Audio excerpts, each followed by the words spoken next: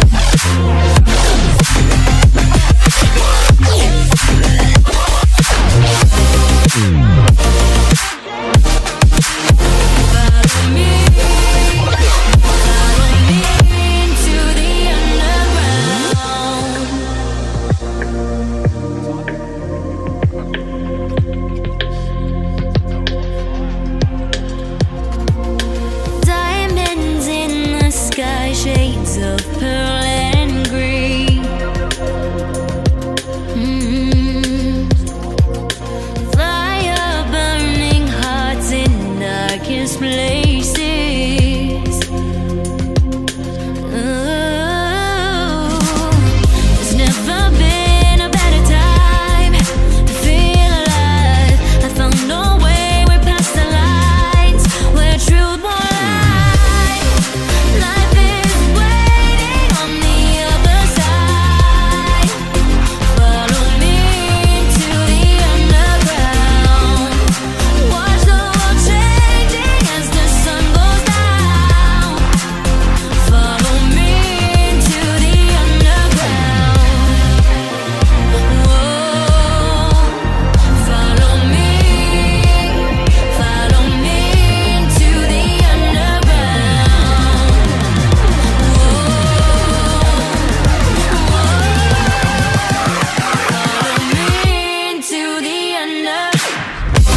Mm.